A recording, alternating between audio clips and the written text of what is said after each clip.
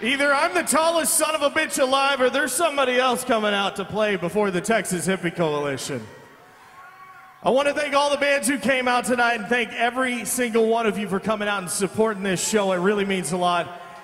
You guys are about to witness a debut performance, very first time ever playing live. I remember this kid being six months old at a Rollins band show. How many of you can say you were six months old and at a Rollins band show?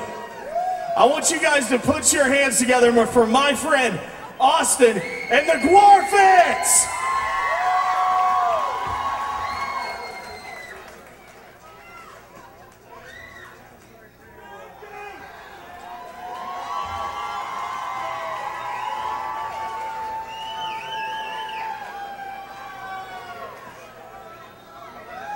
What's up, guys? You ready to do this?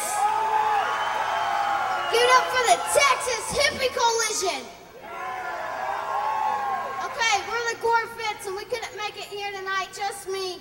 So, this song's called The Gwarfits, and if you want more, go to myspace.com slash The Gwarfits.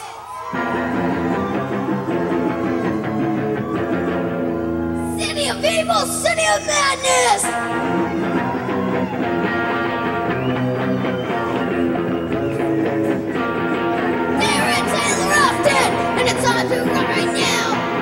The Gwarfits, and it's time to run right now.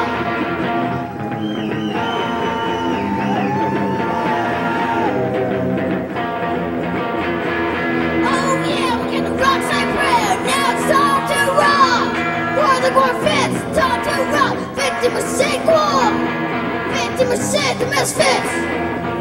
But the Gwarfits, it's time to